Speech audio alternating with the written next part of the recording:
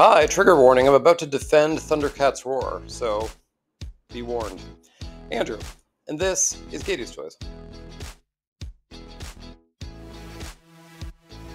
The last time we tackled Thundercats on MI80s, ladies, we actually went for the Lunataks.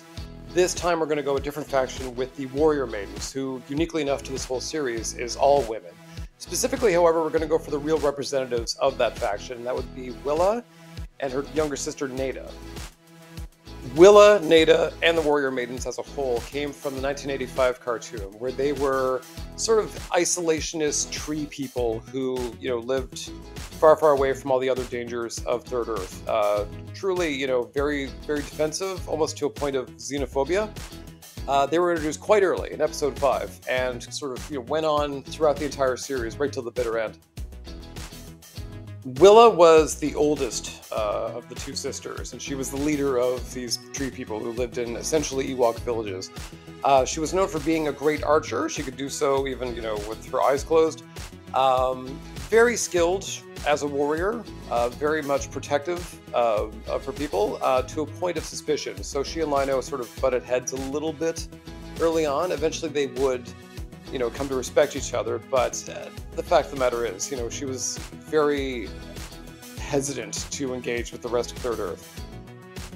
Her younger sister Nayda, on the other hand, while still, you know, very much the isolationist mood of the entire group, uh, probably a little friendlier, a little more optimistic, a little more eager to, you know, uh, interact with the rest of the denizens of Third Earth the warrior maidens were i mean they were named appropriately. They were sort of you know supposed to be the kind of amazons of the plot but they were essentially supermodels in furry underwear. Very much kind of an old wonder woman kind of throwback where everyone's just you know effortlessly gorgeous with super long legs.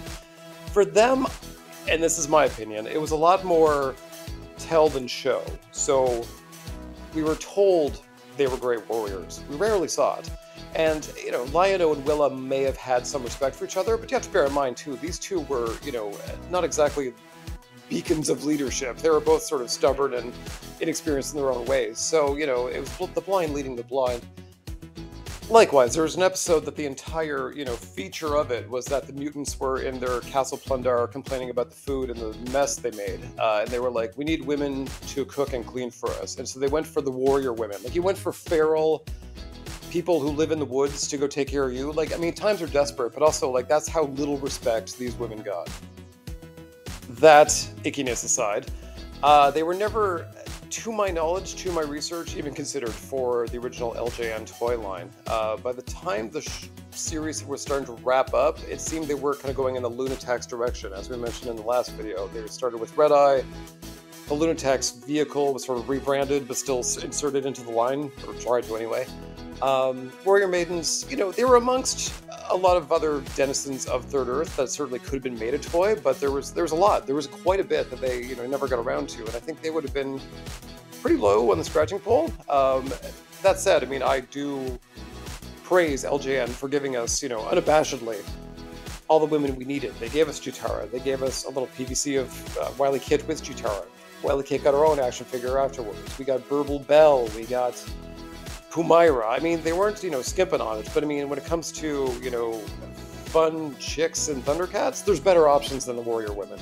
One other thing of note of the Warrior Maidens specifically is that because they looked incredibly human, they did sort of add fuel to a fire of fan theories about what Third Earth specifically was. A lot of people thought it might be Earth from the past or Earth from a post apocalyptic future. They thought humanity left Earth and settled here. And again, same circumstance. This has never been definitively said, but the fact that there are women who look very human, there's Hachiman, there's definitely like human or humanoid ish people who live there or maybe even are from there. It's certainly interesting, and it's certainly something that, you know, some other cartoons have neglected. Thundercats as a whole has not fared well since its original showing, which granted was very successful. Just to get it out of the way right away, I mean, even I think two weeks ago, there was a movie studio saying, you know, we're developing a Thundercats movie. They say this every few years. They've been saying this every couple years since probably the early 2000s. By and large, most people agree this is simply the studio saying we want to retain the rights, so we're going to announce to Variety that we're going to be making the movie, or at least you know attach some people to it, so that we're working on it, with no plans to release it because it costs some money. The first real attempt at a Thundercats reboot was in earnest. I have to give them credit for this. In 2011, the Cartoon Network launched a cartoon series. Bandai launched a pretty ambitious toy line it was certainly Thundercatsy. They sort of took away the, you know, Superman Krypton exploding kind of angle for it and had it more sort of all based on New Third Earth. And, you know, the Thundercats were forced out of their home on the run. Um, it definitely tried to expand the lore in ways that, say, the 2000X He Man series did. It was, you know, in retrospect, interesting. In retrospect, they made some great choices. And in retrospect, we've seen the full plan from the creators of the, the show. They had a very long intricate, uh, very interpersonal drama kind of you know setup going. So like, it could have been good, but as we well know now, any change at all to a property by the original fans is met with seething hatred, and that it was, and we were robbed of something that could have been very great. Likewise, the toys made a good, good go. Um, at the same time, Bandai had done a Thundercats Classics line, one of the first, um, it was a very tall Lion-O and Mumm-Ra, and then a very short Lion-O and Tygra. Like they kind of changed scales midway through.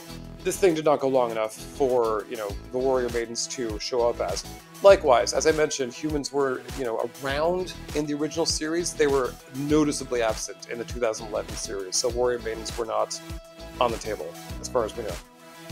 The next attempt at a cartoon was called Thundercats Roar, which everyone absolutely loved.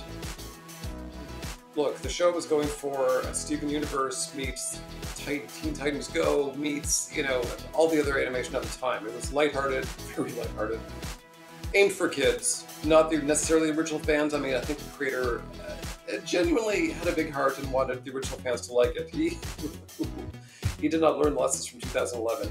Uh, likewise, there was no toys from this for obvious reasons. However, the Warrior Maidens did make an appearance, and this is where things got awesome.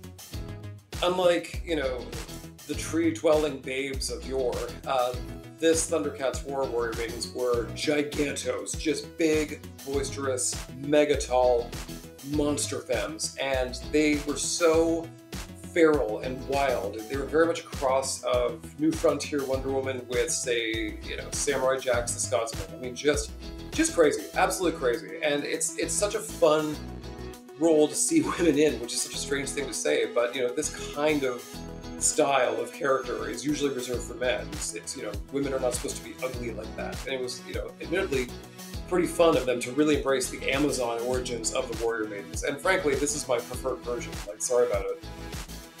Back to the toys, I would say easily the most successful toy line since the original 80s line has been Thundercats Ultimates by Super 7. Currently, they've really kind of finally blasted through all the main cast and they're starting to really whittle down to, you know, the side characters uh, who have been present throughout the entire line. But in 2023, Willa did finally get her first action figure form. Uh, she looks great. It's a little basic, but that's kind of the design's fault. Nayda has yet to be made. Um, I would assume there will be some part sharing, so she might be coming soon. On that note, my last video was about Chilla and Luna, and in that video I said, you know, well, Chilla's shipping now. Possibly they'll put Luna on pre-order someday in the future, and wouldn't you know it, three days later, Brian Flynn's like, hey, here's your Luna, which, you know, good, but it was also a personal attack that, you know, hey, your video is crap and already updated. So, yeah, yeah. By that logic, Nayda will be coming any day now, so you're welcome. Also, Thundercats has been sort of delving into some army builders, like the Reptile Warrior or some Thunderian Guard. So I wouldn't be surprised if someday in the future, certainly not anytime soon, but if they were to do, you know, head swappy, part swappy warrior maiden army builders. That'd be kind of a fun idea too. I wouldn't, you know, bet on it. There's quite a large cast they still need to get to, and we'll see how much legs this line still has now that the main characters are done. But it's possible, and you know, you know me, would be welcome. And that's it for Willa, Nayda, warrior maidens, big feral beasts, or supermodels in furry underwear. I mean, they've had a bit of a history. They've only had one toy to date, but we'll see what the future brings. As such, thank you for watching. If you like this video, perhaps like the video, share, comment, subscribe, all the YouTubey things, and I will see you next time on MIA 80s Ladies.